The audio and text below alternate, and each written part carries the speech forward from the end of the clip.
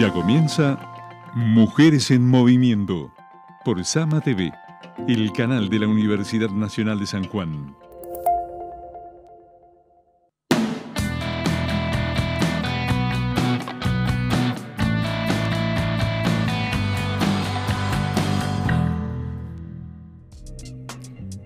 Tardes, ya estamos al aire de Sama en Mujeres en Movimiento.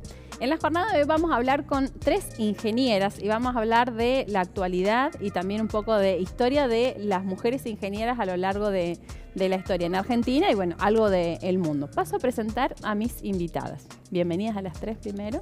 Muchas gracias, Edith. Bueno, invitación. Ay, no, encantada, encantada. Todavía nunca habíamos hablado específicamente de las ingenieras, así que es, el primero. La verdad. Había que hacerlo. Bueno, tenemos acá a la ingeniera Andrea Díaz, bienvenida. Ella es la actual vicedecana de la Facultad de Ingeniería y es ingeniera química. Exacto, ingeniera química. Nos acompaña la ingeniera Adriana Jofre, bienvenida. Encantada de tenerte acá. Muchas gracias. Somos compañeras en diferentes lugares, ¿no? me imagino, me imagino. Hasta que llegó el momento de encontrarnos aquí. Ella también es ingeniera química, es docente e investigadora del Departamento de Matemática y de Ingeniería Química. ¿sí? Y Marina Romero. Bienvenida, Marina. Ella también es, ella es ingeniera agrimensora, docente e investigadora del nucleamiento de minas de la Facultad de Ingeniería. De minas, ya es datazo, de minas. Bien, bueno, nada más y nada menos. Bueno, en el programa de hoy lo que vamos a hacer es pasar algunas placas eh, para contextualizar un poco, tirar algunos datos, ponernos en, en contexto y pasar información, algunos datos alentadores, otros que esperamos sigan mejorando. Vamos a pasar las primeras placas. Eh, estos son datos del CONFEDI, que es el Consejo Federal de Decanos de Ingeniería de la República Argentina. Dicen, la presencia y el aporte de las mujeres en la ingeniería es trascendental para cubrir la demanda de profesionales, fortalecer los equipos de trabajo y potenciar las chances de éxito a la hora de proponer soluciones a las problemáticas tecnológicas de nuestro país. Vamos a la siguiente placa. Sin embargo, no está el claro y el mm. oscuro. Eh, hoy en la Argentina la matrícula de mujeres apenas supera el 20% y mayormente se encuentran concentradas en algunas pocas especialidades. Pero la buena noticia, digamos, es que crearon una comisión permanente de mujeres, género y diversidad. Y ahí contaban un poco en la, página todas las actividades mm. que, que van generando, tratando de centralizar.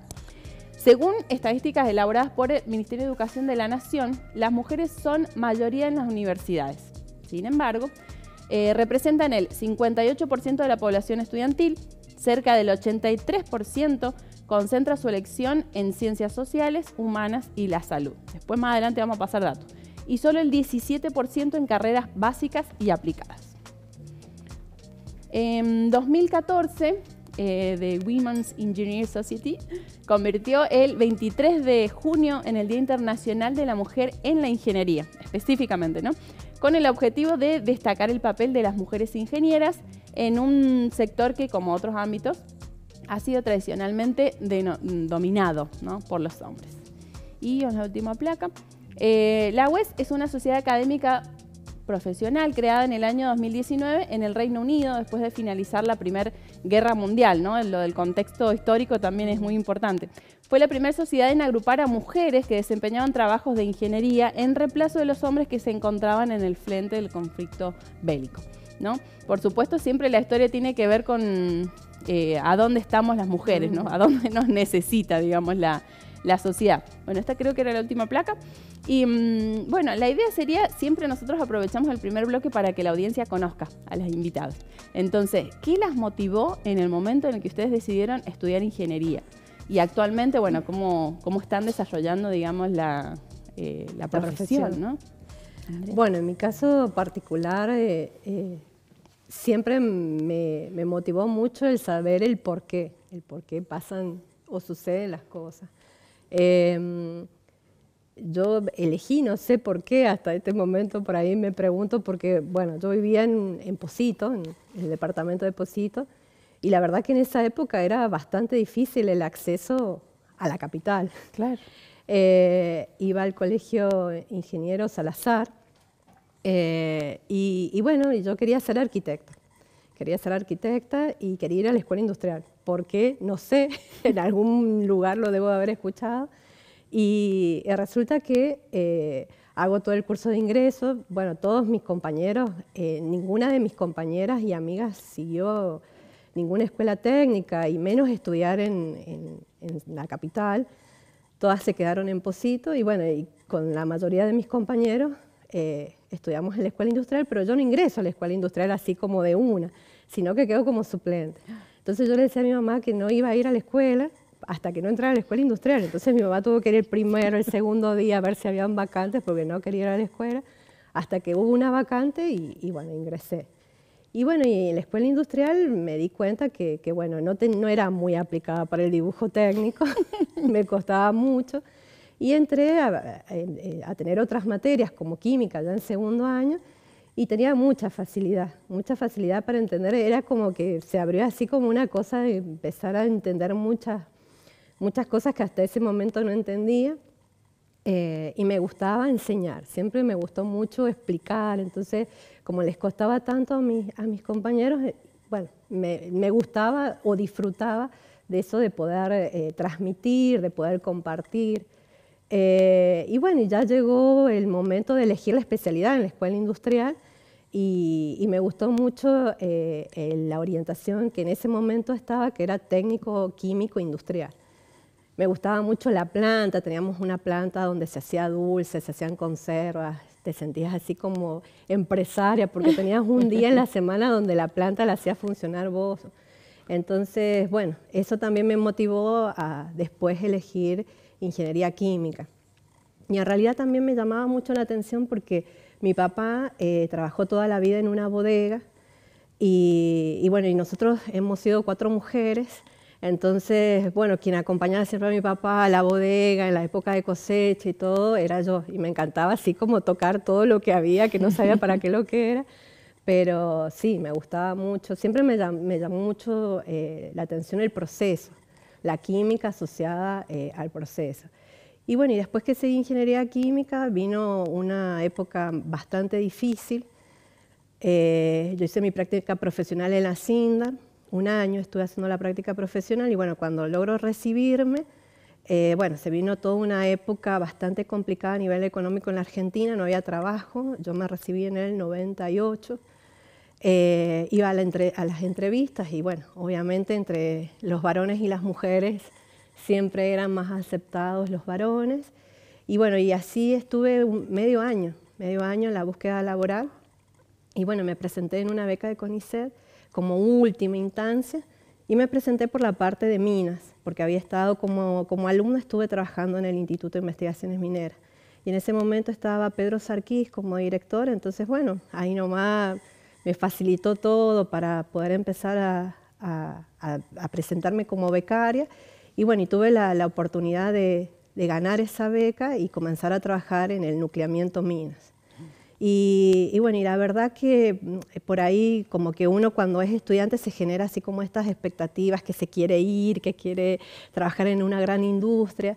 Y en el nucleamiento minas la verdad que yo descubrí muchas cosas por, por hacer. Pude, pude trabajar en la docencia y pude también eh, trabajar en la investigación.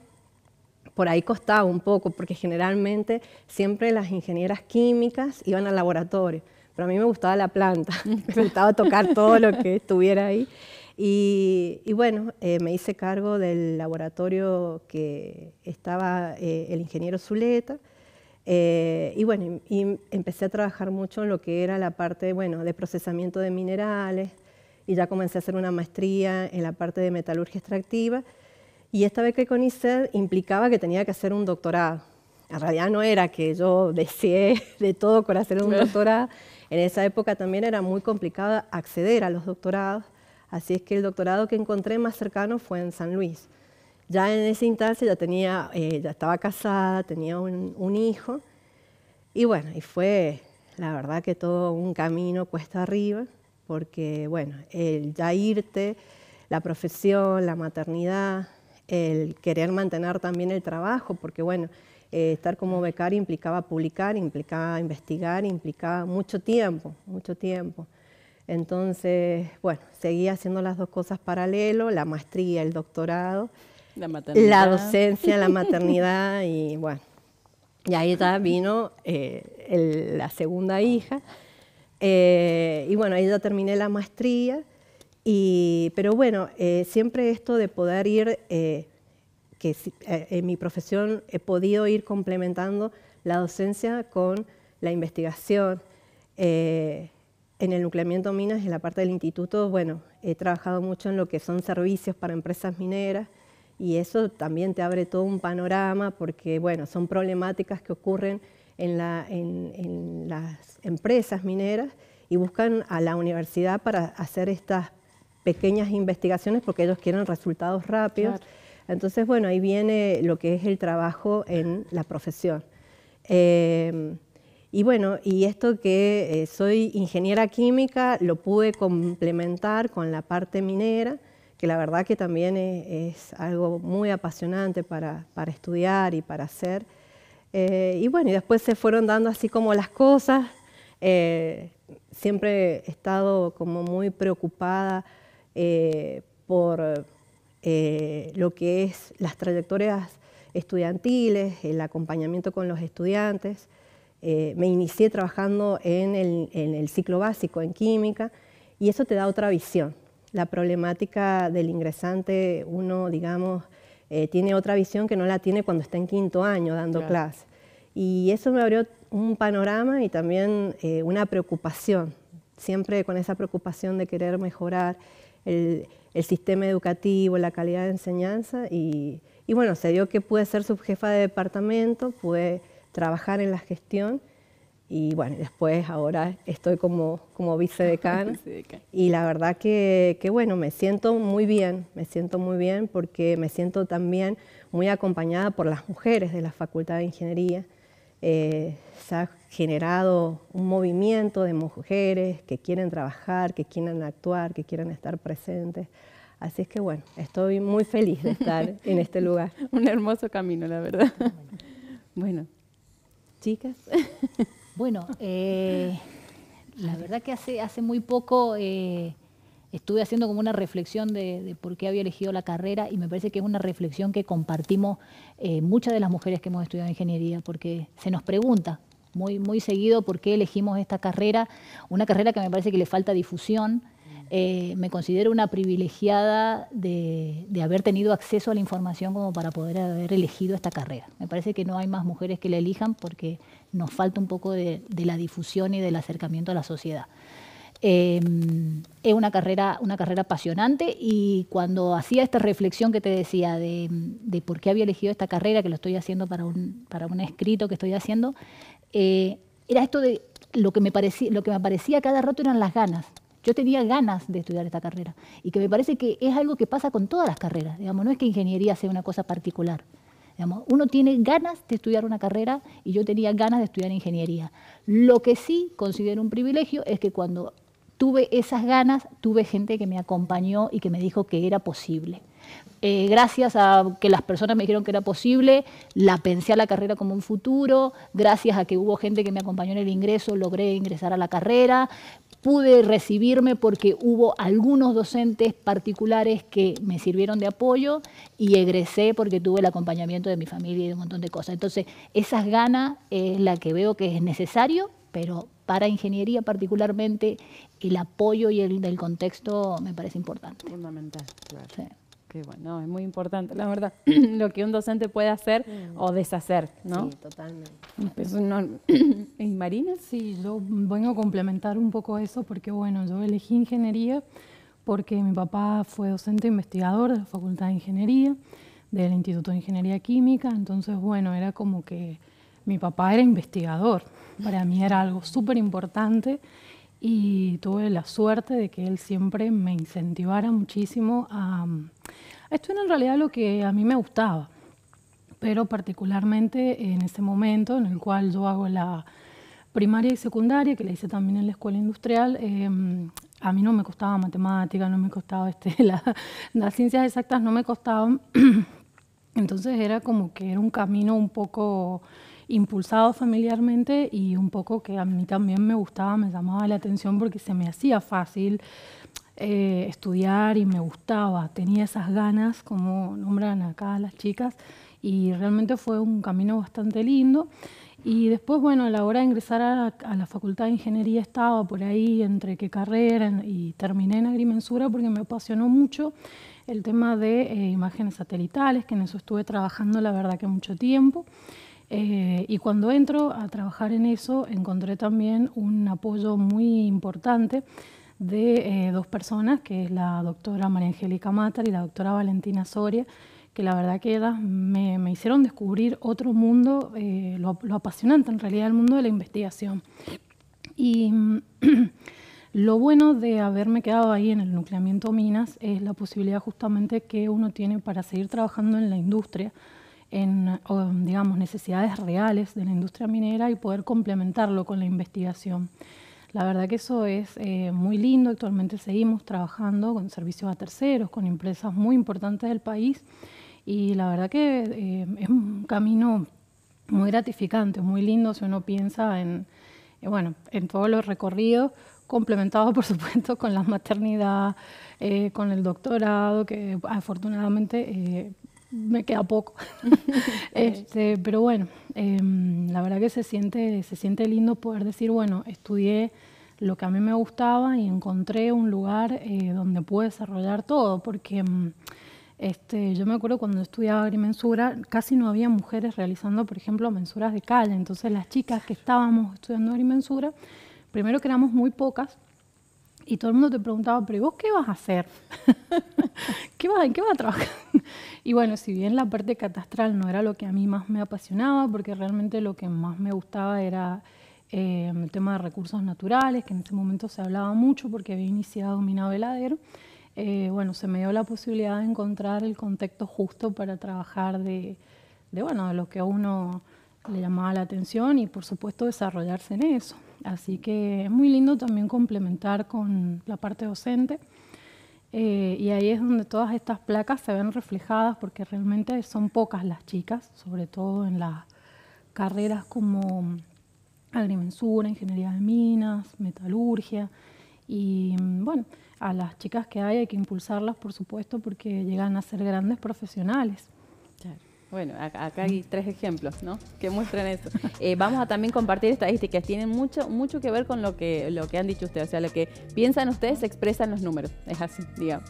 Bueno, eh, estamos llegando al final del primer bloque. Vamos a ir un corte cortito para aprovechar todo el programa de hoy y venimos con el segundo bloque.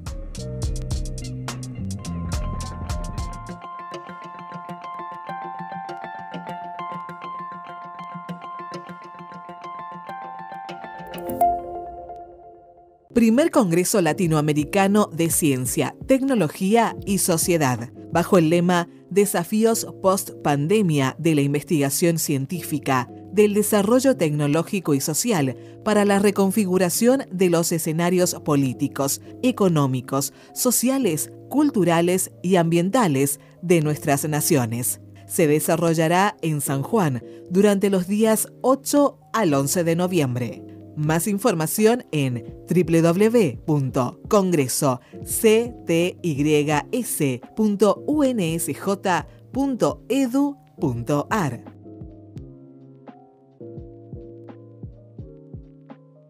Toda la información sobre nuestra Universidad Nacional de San Juan la encuentras en SAMA, señal UNSJ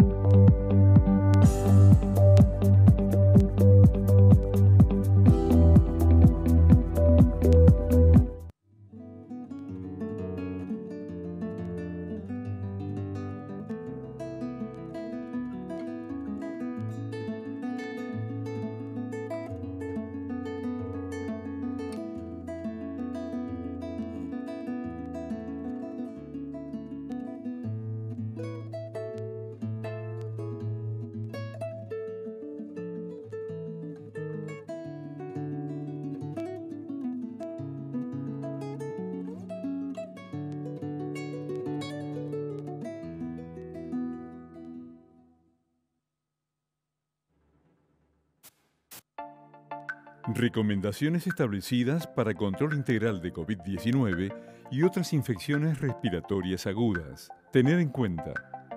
No acudir a actividades laborales, educativas, sociales o lugares públicos ante la presencia de síntomas. Nos seguimos cuidando.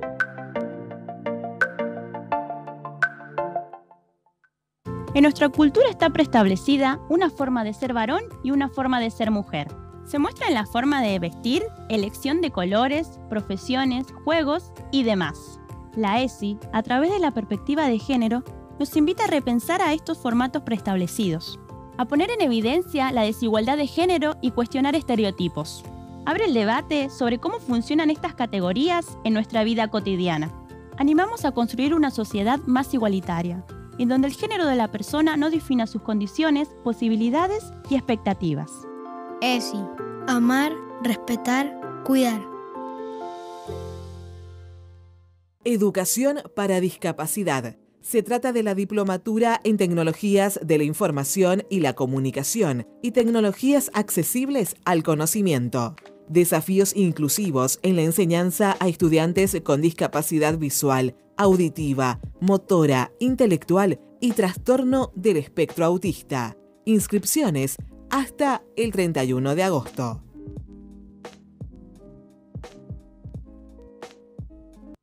Sama Noticias. Toda la actualidad internacional, nacional y local. Notas, informes, invitados que te cuentan lo que pasa en la voz de sus protagonistas. Sama Noticias de lunes a viernes a las 12.30 horas, con la conducción de Sergio Cáceres Picón y Maru Silva.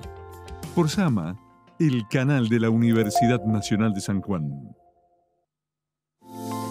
Seguimos viendo Mujeres en Movimiento por Sama TV, el canal de la Universidad Nacional de San Juan. Segundo bloque del programa de. Algo que habíamos prometido de lo que íbamos a hablar es el efecto Matilda. Vamos a pasar algunas placas y ahí hablamos con las chicas. ¿Te imaginas qué hubiera pasado si Einstein habría nacido mujer? Probablemente hoy no sabríamos quién es Einstein. Con esta pregunta disparadora y una respuesta para la reflexión comienza, la campaña No More Matildas, no más Matildas, impulsada por la Asociación de Mujeres Investigadoras y Tecnólogas de España. Vamos a la próxima. La iniciativa que empezó en el país europeo en enero y ya traspasa fronteras, traducida a varios idiomas, busca concientizar a la sociedad sobre la poca visibilidad que tienen las mujeres en el ámbito científico. También pretende recuperar los nombres de las mujeres de la ciencia que fueron silenciados y olvidados. llevándolos a los libros escolares con la idea de despertar ejemplos y también la vocación científica de niñas. Se conoce como efecto Matilda a la invisibilización de las mujeres en las llamadas ciencias duras, pues históricamente su trabajo se atribuyó a varones en muchas oportunidades. Y vamos a la última placa. Una de las primeras mujeres en denunciarlo públicamente fue Matilda Jocelyn Gage, una sufragista y abolicionista de finales del siglo XIX en Estados Unidos que luchó por los derechos de las mujeres y de las minorías. Bien, bueno, esto hablábamos recién del efecto Matilda, ¿no? esto que decían las chicas también sobre cómo mm, despertar eh, la, iniciativa de que niñas elijan la carrera, de que la información llegue. Entonces, bueno, la idea era contar un poco cómo eh, fue en el momento que ustedes eligieron la carrera y cómo ven actualmente que es esto de la, tratar de convocar, de que la información llegue, eh, qué herramientas o qué estrategias nos vamos dando para que esta información llegue a diferentes lugares, ¿no? Y sí, yo pienso que, bueno, eh, yo tengo ya 48 años y en mi época, eh, no, olvídate, o sea, no llegaba información por ningún lado, a mí me parece que estaba era en sí, si vos seguías una carrera de este tipo, era la fuerza que uno le ponía y, como dijo Adriana, la familia, ¿sí? la familia que apoyaba, la familia que acompañaba. En mi caso particular, imagínate, cuatro mujeres, mi papá eh, era un empleado de una bodega, un obrero de una bodega, imagínate que económicamente pensar en que vos hagas estudiar a tus hijas en esa época, así, donde decías, bueno, ¿cómo vas a hacer estudiar a cuatro mujeres? Y se lo decían así, frontalmente, ¿para qué? Si se van a casar, si... Y después cuando yo empecé a estudiar ingeniería, pero ¿para qué haces estudiar ingeniería a esta mujer que se va a casar, que va a dejar el título? Bueno, siempre eh, en, la época que a mí me tocó, eh, sí no había tanta difusión de carreras, no había oferta educativa, no había nada. O sea, era una lucha continua eh, entre lo que vos querías llegar y cómo vos podías llegar a lograr ese objetivo y la fuerza que, te impulsaba, el deseo del querer hacer, el deseo de que querías lograr ser ingeniera y me parece que sin, darnos cuenta eh, hemos querido también lograr este objetivo porque sin darnos cuenta sabíamos que éramos minoría también. Entonces, eh, yo me siento en toda, digamos, mi, vida como una lucha continua, ¿sí? Una lucha continua que, bueno, un poco eso nos lleva eh, a mujeres que tenemos más de 40 años a hacer una reflexión y decir, bueno, a ver, paremos y empecemos a hacer un cambio, ¿sí? Que, que las nuevas ingresantes que comienzan a transitar nuestra facultad de ingeniería no pasen lo mismo que nosotros nosotras pasamos, imagínate que hasta muchas veces hasta nos masculinizamos, em, y eso, y en, este, en, esta pasión ¿sí? que uno tiene y que defiende y todo, y ha tenido que transitar varios espacios y a veces caminar por ciertos lugares, ¿sí? porque por otros lugares no podías caminar. Eh, y hemos naturalizado muchas cosas y hasta muchas veces nos hemos invisibilizado, eh, hasta nuestra forma de vestir, hasta nuestra forma de hablar, ¿sí? para no pasar, eh, para ser desapercibidas como casi invisibles. Porque, bueno, también si te arreglabas un poquito, o sea, a ver, ¿cómo te vas a arreglar si venías a una facultad que está llena de varones o, vas a querer conseguir otra nota porque venís así? Entonces, bueno, siempre estos prejuicios y mm, eh, quizá en nuestra época eh, no fue como en la época de ahora, como lo que vemos ahora y como lo que nosotros también desde nuestra Facultad de Ingeniería estamos trabajando para poder eh, invertir esos números que, son ya estadísticas y que son nacionales e internacionales, porque esto no pasa nada más que acá en la Argentina, pasa en, todo el mundo. y bueno, y por eso nosotros también desde la Facultad de Ingeniería estamos trabajando en esto, desde la oferta educativa que comenzamos a hacer, desde invertir estos, estos números, de dar a conocer qué es lo que hacemos como mujeres en la ingeniería. Me parece que la comunicación es súper importante porque cuando esto trasciende y va a la sociedad, y va a la mamá, al papá, entonces cuando la niña le dice, mira mamá, quiero seguir ingeniería eléctrica, eh, bueno, sí, vamos, sigamos, te acompañamos, te apoyamos y no que, no, ¿para qué vas a seguir eso si eso es, para hombres? Entonces, a pesar de, toda esta lucha que, venimos transitando y venimos haciendo, o sea, siguen todavía ciertos prejuicios así como muy instalados, muy patriarcales, que bueno, que, también a nivel institución nos tenemos ese compromiso de, trabajar para eh, que haya más difusión de nuestras carreras, para que la sociedad conozca qué hacemos las mujeres en la ingeniería. Bueno, desafíos que nos trascienden mm. totalmente. Seguro, y me parece que hay, que hay que pensar que la elección de la carrera no es una cuestión individual, no es algo natural ni es algo personal, sino que también es un hecho social. Y más en, una, en, una, eh, en un país en donde la mayoría de las universidades son universidades estatales, en donde nos debemos a la sociedad ese gasto. Eh, entonces, como hecho social tiene algunas connotaciones y la connotación de que las mujeres no estudiemos estas carreras involucra que primero que nuestra voz no está, no está nuestra mirada. Eh, lo hablábamos el otro día, por ejemplo, con el diseño, en el diseño de los autos, que las medidas de seguridad que tienen los autos está diseñado para cuerpos masculinos y no para cuerpos femeninos.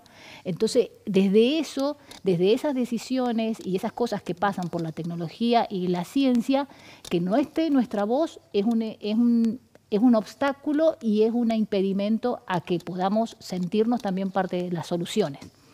Eh, también tiene el efecto social de que tenemos menores, menores sueldos promedios las mujeres, porque son carreras que son muy bien pagas, Eh, y si son ocupadas por hombres, nuestro promedio de salario disminuye en lo que es la comparación de las mujeres con los hombres. Entonces ahí también tenemos una desventaja importante que tenemos que atender. Y bueno, y esto de hacernos cargo de ser solución para la, plantear soluciones para la sociedad. Me parece que las mujeres tenemos que tomar roles en eso, no un rol tan pasivo al que nos ha llevado la sociedad, porque como te repito, para mí esto es un hecho social. Digamos, el, que las mujeres no lo elijan no es porque yo no tengo, no me gusta desarmar cosas, porque no me gusta la mecánica, no, no, es porque estoy, eh, estoy siendo un producto de la sociedad.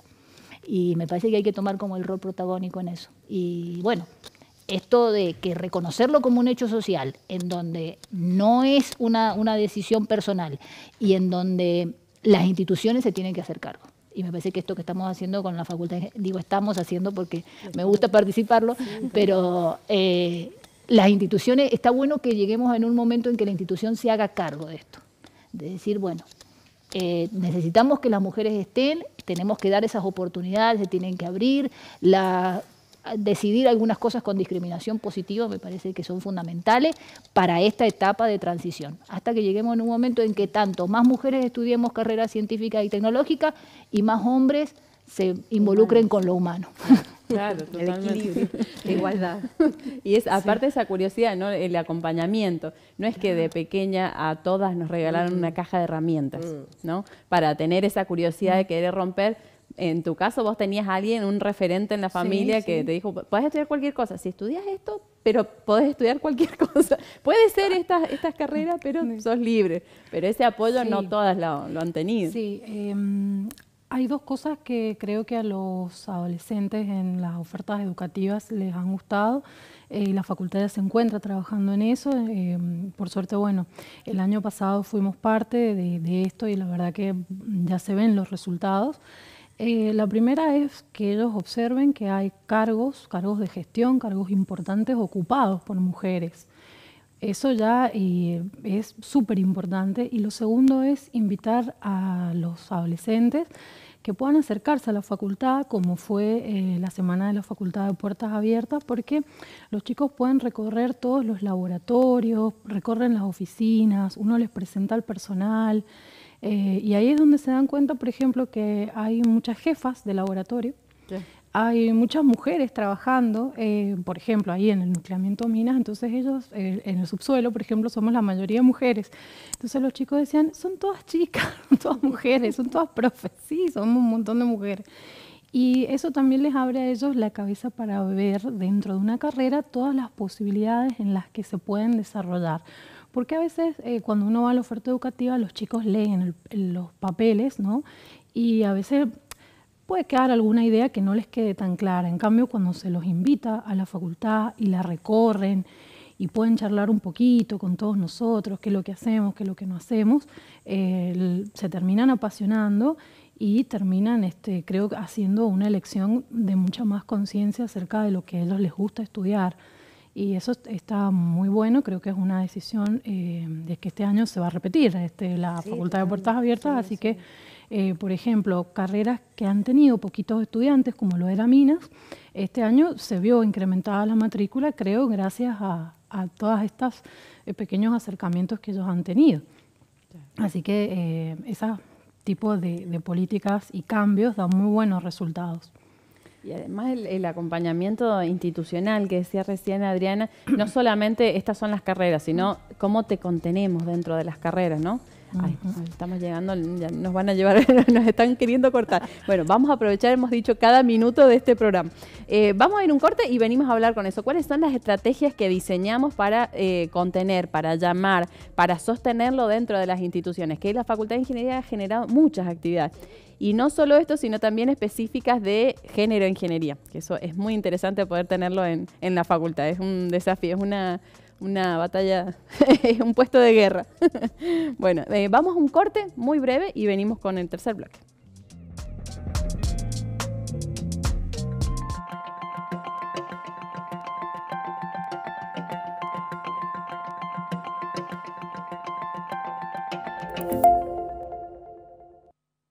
Una oportunidad para investigar sobre gestión del agua.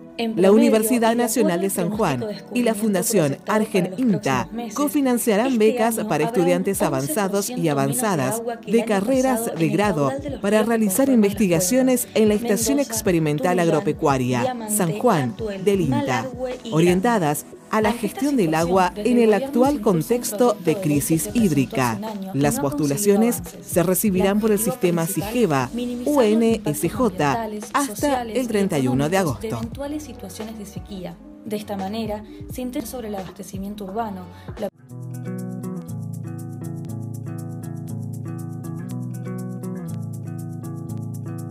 Este croquis lo llamo Jerry Mar. Es un viaje que hicimos a Antofagasta con un grupo de croquiseros. Hicimos como una caravana en todo lo que era Antofagasta, era del mar al desierto. Grandes grúas que hay en el puerto, jugar un poco con las perspectivas, como enforzarlas un poco, llegar a registrar la altura. Entonces es una situación de ponerme por debajo y lograr una, una perspectiva de fuga hacia arriba tratando de jugar un poco con los colores muy característicos en Chile, que son los azules y rojos. Bueno, obviamente por la bandera se ven todos lados y entonces también jugando con el tema de la acuarela.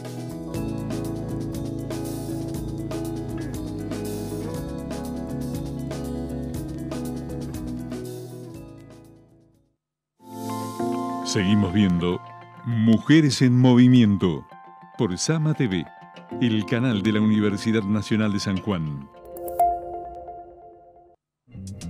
Bien, tercer bloque del programa de hoy. Vamos a pasar unas eh, ya casi últimas placas para contar esto de los números que veníamos diciendo.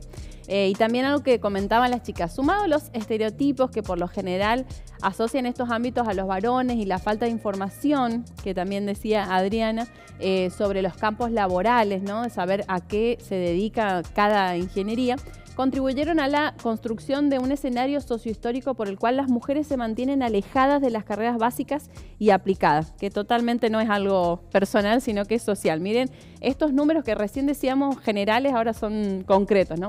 En la última edición del informe Mujeres en el Sistema Universitario Argentino, 1920, ahí tiene que haber un informe actualizado, yo no, no, pude acceder, pero esto es lo último, publicado por la Secretaría de Políticas Universitarias el pasado 8 de marzo, en conmemoración del Día Internacional de las Mujeres, se desprenden las siguientes cifras. En ciencias sociales, 484.000.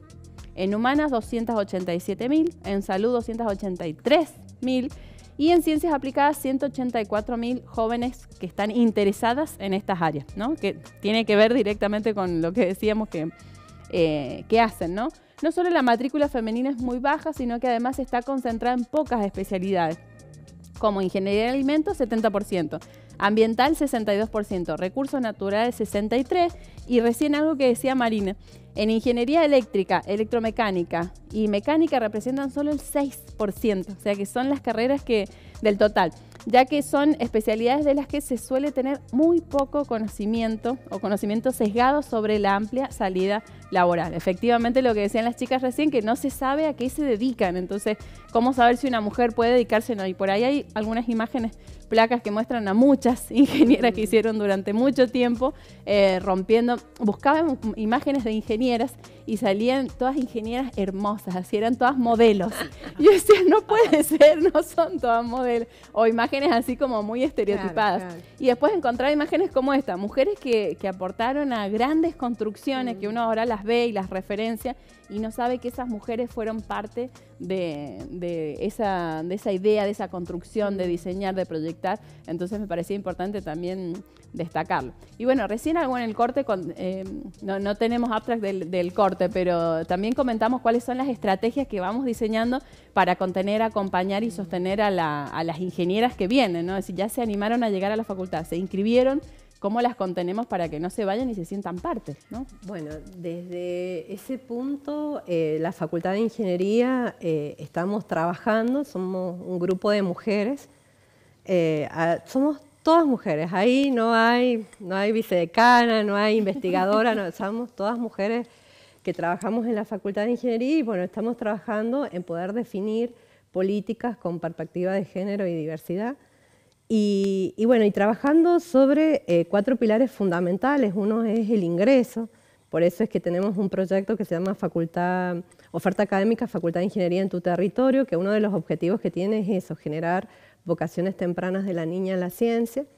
Eh, otra, otra línea que, estamos trabajando y queremos fortalecerla es la investigación, que tenemos nuestro proyecto Historia, Ingeniería y Género, el relato de mujeres ingenieras, porque me parece que es muy importante que todas conozcamos nuestra historia. ¿sí? En, esta, en, este, en esta pregunta que vos nos hacías, muchas veces nosotros no la hacemos y es importante hacer este, este recorrido en, nuestra vida y este recorrido de todas las mujeres en, la Facultad de Ingeniería y en las carreras de Ingeniería. Otro punto importante es la formación. Eh, acá nuestra compañera Adriana Jofré, ella se ha formado en CONFEI en la parte de, formación para, que, bueno, para que todo lo que esté referido a perspectiva de género, ley Micaela, igualdad, eh, lo implementemos a través también de nuestras prácticas de aprendizaje. Eh, y otro, y otro punto importante es formar comisiones. Eh, hace poquito eh, reinauguramos eh, la, sala de, lactancia, no reinauguramos, reactivamos la sala de lactancia. Y bueno, y esa es otra actividad que se ha generado a través de estas reuniones que hacemos entre mujeres en la Facultad de Ingeniería, que nos parece muy importante esto de ir de manera conjunta generando compromisos, identificando problemáticas y buscando soluciones. Esto me parece que es fundamental y que si bien al principio éramos muy poquitas, eh, bueno, cada vez se va nos vamos sumando, se van sumando más compañeras y se va identificando el compromiso, porque eh, esto eh, es algo muy importante, que es que si sos mujer y estás en la Facultad de Ingeniería, tenemos que abordar todas estas problemáticas que estamos conociendo y, ver de qué manera podemos solucionarlo, pero de manera colaborativa. Me parece que eso es muy importante. Es fundamental. Armar redes, ¿no? Exacto, armar redes. Sí, lo mismo, el trabajo, eh, pretendemos que el trabajo no se quede en esta comisión, porque como en muchos temas somos como siempre los mismos cuerpos. Entonces, eh, pretendemos que esto, eh, cuando estaba hablando Andrea de, este programa de género que estamos redactando, todavía estamos redactándolo, eh, queremos que sea como un paraguas, pero que no sea finito, sino que sea para toda la institución, cuando hablamos de la perspectiva de género, que no solamente atraviese a aquellas cosas que se piensen desde la perspectiva, sino que todo se piense desde la perspectiva de género, todas las investigaciones, a pesar de que tengamos algunos, algunos proyectos de investigación que tengan como objeto de estudio la cuestión del género, que todo proyecto de investigación se piense desde una perspectiva de género, porque si indagamos un poquito, vemos que los, objetos de estudio son generalmente los varones dentro de, las investigaciones en ingeniería. Eh, con respecto a lo que es la, formación, la formación en ley Micaela, también pretendemos que atraviese a, toda la, facultad, así como lo viene haciendo la Oficina por la, contra la Discriminación y por la Igualdad, que lo ha hecho con la gente del personal no docente de la facultad. A pesar de las resistencias, lo hicimos. La resistencia se hizo. Eh, entonces queremos que en, la, facultad el interés que tenía la institución era que hubiese personas capacitadas que aportáramos a esa capacitación como auxiliares de alguna manera y también para que generemos nuestras propias eh, capacitaciones, porque siempre las capacitaciones que surgen desde, el mismo, desde los mismos pares son por ahí más, más valiosas que las que vienen desde afuera, digamos, como que no digo que sean, que sean mejores o peores, pero es mejor que desde la misma institución se comprometa a la gente. Sí, sí, porque conocemos más la realidad, digamos, no es como algo que venimos a verlo desde afuera, sino, sino como más de adentro. Eh, así es que estamos en eso. Y también eh, hemos diseñado una encuesta porque también desconocíamos esto. Bueno, ¿cuántas mujeres son en ingeniería? Mm, los números, claro. Nos encontramos en todos lados, es como decía Marina, vos vas a un subsuelo y hay una mujer, vas a un laboratorio y hay una mujer, vas, hay algunos lugares así que son los que más se destacan por ahí, que las mujeres no nos vemos, pero estamos en muchos lugares de, la facultad. Entonces dijimos, bueno, hagamos una encuesta, qué mejor que esto que hacer un relevamiento. Entonces, en la encuesta eh, trabajamos, tratamos de abarcar todos los estamentos, va para egresadas, para personal no docente, para estudiantes, para docentes. Y bueno, ¿cuáles son las necesidades? También tratamos de relevar ahí, si tenemos niños lactantes, si tenemos niños en edad escolar, eh, cuál es nuestro, nuestro carácter de cargo también, porque esto que también Andrea había, había pedido información, ahora que la tenemos como gestión, podemos pedirle un montón de datos. Accedemos a toda la Entonces habíamos, habíamos relevado esto también de la distribución, que es una cuestión también a nivel nacional, que es la distribución de cargos entre hombres y mujeres, como la pirámide es distinta. Eh, entonces, bueno, para poder tener, ese relevamiento y que también las mujeres nos sintamos que podemos escucharnos, podemos ser escuchadas, digamos, hemos, hemos, vamos a poner en juego esta encuesta. Desde el 15 de, agosto ya va a estar disponible para que la ah, respondamos. en el proceso ahí. Sí, sí, ah, estamos ahí en el lanzamiento. tienen adultos a cargo, porque las mujeres tienen niños y los adultos, ¿no? La, la... Sí, tareas que siempre recaen en el 90% de los casos en las mujeres. mujeres, sí. Bueno, ¿y Marina? Sí, la idea es justamente a través de todos eh, los proyectos de la facultad que involucran la cuestión de género, eh, transmitir esta información a las estudiantes porque mm, es fundamental que se enteren también. Hay muchas chicas que a veces creen, por ejemplo, que no se pueden presentar a las becas, creen que no se pueden presentar a las ayudantías o por ahí piensan que les va a costar mucho, entonces acercándonos a las chicas, estudiantes, les podemos ofrecer la posibilidad de brindarles toda la información. Muchas veces hay muchas chicas que son mamás, entonces se demoran eh, a veces en la carrera y eso, ellas que dicen, no, yo ya no puedo ser ayudante o yo ya no puedo presentarme una beca porque me estoy demorando. Bueno, entonces buscar alguna posibilidad a través de... Mm, de, Andrea, a través de Andrea, para que este, las estudiantes se sientan contenidas, porque por supuesto que hay muchas estudiantes que son mamás y eso, em, las tareas de cuidado por lo general eh, insumen mucho tiempo y bueno, les cuesta, a las chicas les cuesta y eh, justamente lo que hay que fomentar es que terminen su carrera y bueno, eh, ofrecerles, mm, en eso insistimos desde estos proyectos, ofrecerles el amplio panorama de todo lo que ellas pueden hacer como mujeres ingenieras. Y importante eso de no caer en la, dicotomía que te dice o sos madre o te recibís de ingeniera, sino demostrar que sí se puede. es importante la comunicación, porque bueno, ahí en ese tema eh, de, la maternidad, muchas alumnas se quedan ahí en el camino por, ese, por esa problemática que bueno, es propia de nosotras. Hay, que saber contenerlas, es lo que dicen. Todas estas estrategias, la mm. verdad que ayudan a contener, es decir, seguir, terminar y mm. avanzar, que si muchas pudimos, vos también podés, ¿no? Es lo, es lo, principal, el ejemplo. Bueno, estamos llegando al final del, del tercer bloque. Vamos a ir un corte cortito y venimos ya con el cierre del programa de hoy.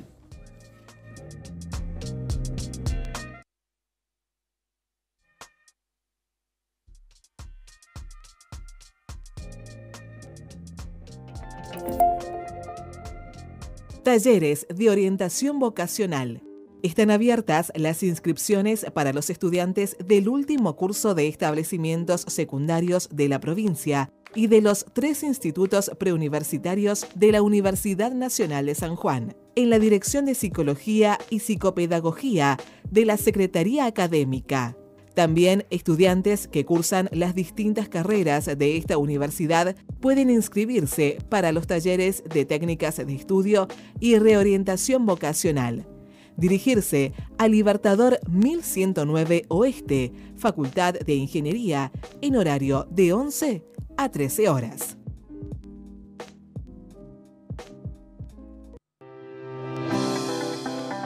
Yo me vacuné. Te pido que vos también lo hagas. Completa tu esquema de vacunación y ayúdanos a frenar el virus.